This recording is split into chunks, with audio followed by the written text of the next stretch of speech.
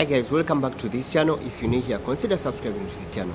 It's the only way you can support this channel. For the returning subscribers, thank you so much for supporting this channel. I really appreciate it. Thank you so much. For the new subscriber, consider subscribing to this channel. By the way, don't forget to press the notification bell. It's the only way you'll be updated when I upload a new video.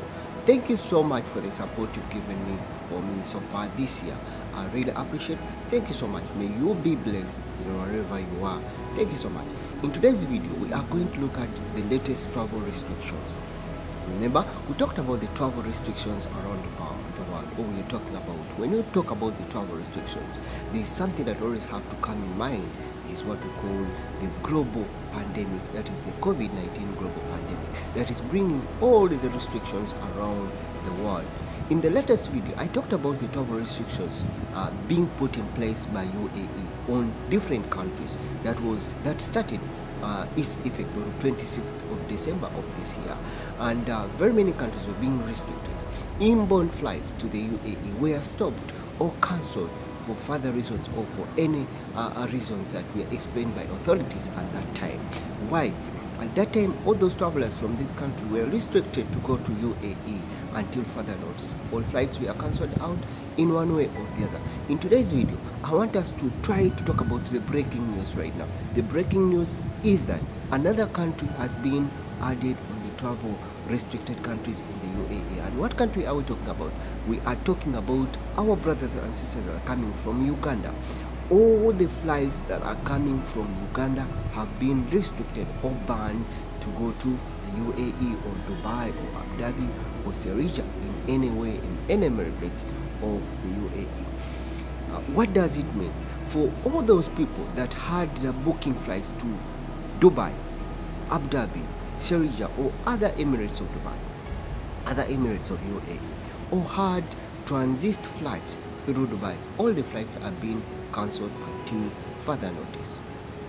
You, this comes into effect after the neighbors, Kenya, Tanzania, uh, Rwanda, uh, Nigeria, and all other countries have been banned to have flights in the UAE. What does it mean to you as a traveler? You always have to be prepared. You always have to make sure that you check the website of that country that you wish to travel before you can get to travel to avoid dis uh, disappointments in one or the other because very many restrictions are moving on around the world and this is exactly we cannot lay it out because of the pandemic. Because of the new omicron variant of the covid-19 all countries are trying to protect its citizens away from the pandemic and they will, you do expect that the travel restrictions will be on so what do you need to do? You need to prepare yourself in advance. You need to check out the government website. You need to check out what website to the country you're going to. You need to travel the travel requirements. What are those requirements that you need to go to that country before you get disappointed to get disappointed in one or the other. And secondly, something that I'd advise my I'd advise followers or my subscribers that get vaccinated. It's the only way we are going to get out of this. Because remember, if a flight is cancelled, very many uh, people are being affected in one way or the other. But still, I would advise you is get vaccinated. It's the only way. My brothers and sisters are going to come to this country, going to move out. The only ticket that is going to come, the only requirement, one of the requirements that will be coming in, in, in the time that we expect is that you'll have what you call a vaccine. They will require of you to be vaccinated for you to travel. So it's going to be part of the requirements. We never have to load it out in one way or the other. But still, for those brothers and sisters from Uganda, if your flight is cancelled to Dubai, please continuously check on the website or check with the airline and see when you resume the flight, such that you don't have to miss out in any way or the other in a particular way. But remember, let us follow the SOPs given by the Ministry of Health or given by, by, by the response people so that we can also fight together the spread of the pandemic in one way or the other. If you're supposed to put on a mask, put in a mask. If you're supposed to follow distancing, uh, use a sanitizer, let us follow the restriction in any way because this is the only way we can get to fight out for this pandemic all together. That is the breaking news and the latest information we have. Don't forget to subscribe to this channel. If you're new here, don't forget to subscribe.